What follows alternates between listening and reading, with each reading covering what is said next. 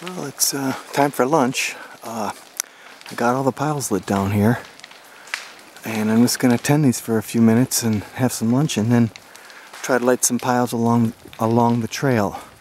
Light some piles, that is, along the trail. So conditions are pretty pretty darn good.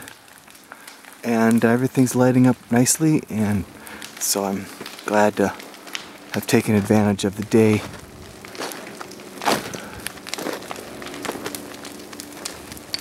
expecting we are expecting uh, heavy snow tonight, snow tomorrow, and then followed by cold temperatures. So, relatively speaking, it was uh, very easy to start these piles today.